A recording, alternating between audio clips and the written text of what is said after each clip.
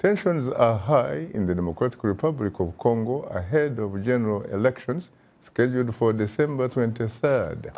The winner of the race, presidential race, will succeed incumbent President Joseph Kabila, who has been in power since January 2001. My colleague Paul Ndiho has more on the story.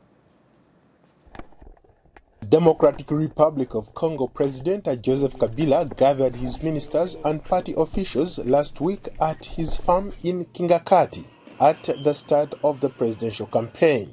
President Joseph Kabila announced in August that he would abide by the country's constitution and step aside, opening the door to the first ever democratic transfer of power.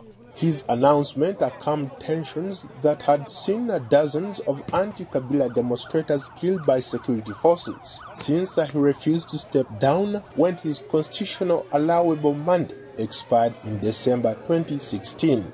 Kabila is backing Emmanuel Ramazani Shadary as the presidential candidate of the Common Front for Congo, a coalition of ruling parties.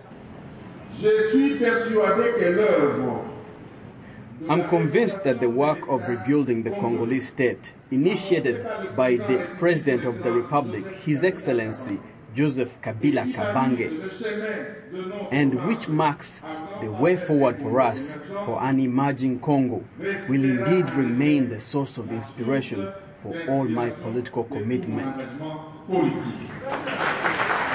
a mineral-rich country that has never known a peaceful transition of power since its independence from Belgium in 1960. In a bid to present a combined front against President Kabila's preferred successor, seven opposition leaders earlier this month chose a joint presidential candidate, businessman and lawmaker Martin Fayulu, Fayulu drove through the streets of Kinshasa where he was greeted by thousands of supporters.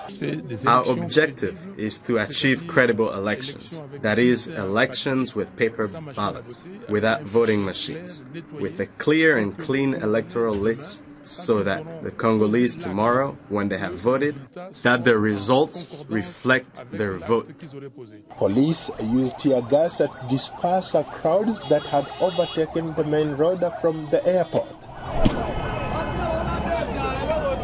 For a brief moment, it looked as if a Congo's splintered opposition was united. But those hopes were short-lived as opposition party leader Felix Tshisekedi who had initially backed up Fayulu as the joint candidate, and later withdrew his support, along with UNC party leader Vital Kamerhe. The UDPS is the oldest and biggest opposition party in the DRC. It was uh, co-founded in 1982 by Felix Tshisekedi's famous father, who died in February 2017. According to the DRC constitution, the president is elected in a plurality vote in one round. Paul Ndiho, VOA News, Washington.